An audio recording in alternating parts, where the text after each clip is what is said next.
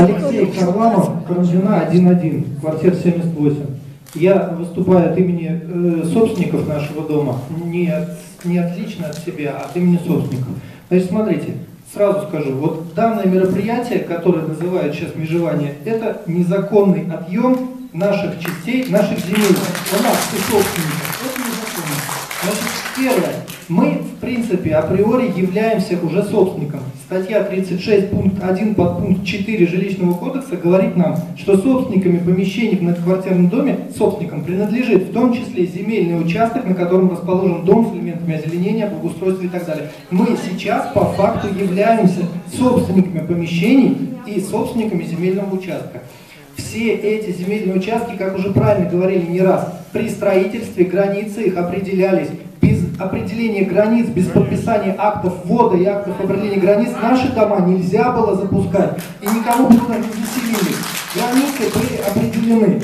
Э, действующие на тот период застройки все законные, все нормативные акты говорили о том, что без подписания этих вот э, актов разграничений нельзя было эксплуатировать никакой дом. То есть на тот период все документы были. Где они сейчас, мы не знаем. Может быть их спрятали, может быть их порвали, выкинули, те старые акты.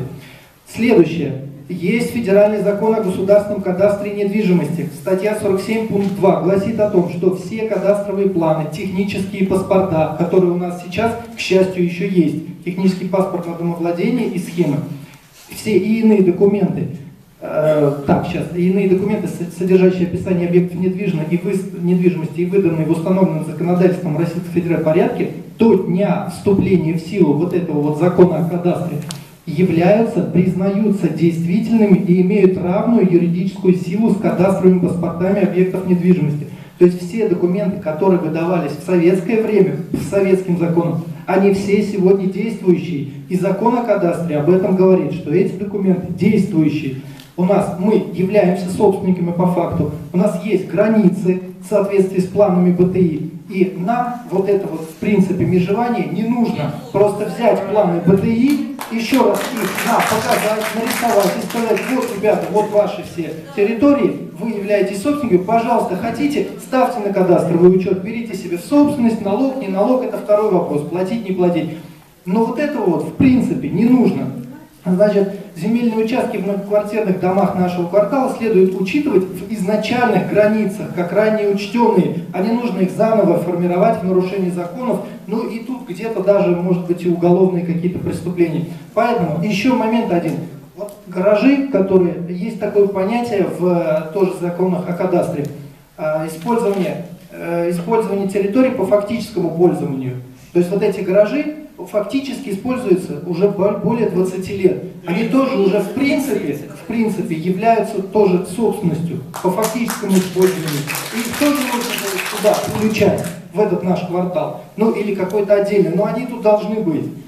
Это по поводу гаражей. По поводу Значит, ну, налоги понятно, обслуживание территории, даже если мы будем сами обслуживать, дайте нам, дайте нам возможность самим обслуживать. Мы, может быть, будем более эффективнее, да, экономичнее все это выполнять. Но вы же нам не даете. Вы берете бюджетные деньги, половина уходит куда-то неизвестно, половина, наверное, да, идет на уборку территории, на подпомогание, окрашивание травы. Значит, мои предложения, ну, вопрос по поводу гаражей хотелось бы все-таки услышать, почему он не вошел сюда. Мои предложения. Первое. Данный представленный проект отклонить. В принципе, отклонить музыку, все. Второе. Необходимо создать комиссию, в которую будут входить в том числе и жители района. Вот Александр Кожин, который два года уже копает все эти законы и советские изучил, и законы 34 -го года он изучил, и там, я не знаю, революционных. Значит, с участием жителей обязательно. Это согласительная комиссия.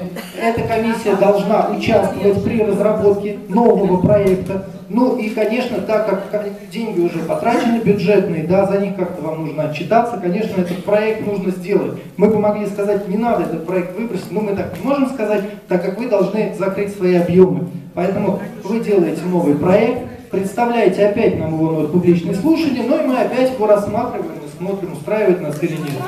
Все, спасибо. секунду я вхожу. Вот есть такие обращения, да, в окружную комиссию к жителям. Кто желает, пожалуйста, у меня вот 50 экземпляров есть. Если вам не раскидали в почтовые ящики, вы можете подойти и подписать. Спасибо. Но на самом деле достаточно и одного обращения, все они как бы, равноценно важны. И любое предложение, замечание, оно, все это будет а, зафиксировано в протоколе. А, значит, по, по гаражам. Гаражи у нас, а, к сожалению, не входят в границы разработки проекта, поскольку расположены а, уже за улично-дорожной сетью, можно сказать, в другом планировочном квартале. А, границы разработки проектов межевания и перечень кварталов к разработке определяет государственный заказчик. То есть, но вы этот вопрос также должны а, отобразить а, в письменном виде, это будет рассмотрено непременно.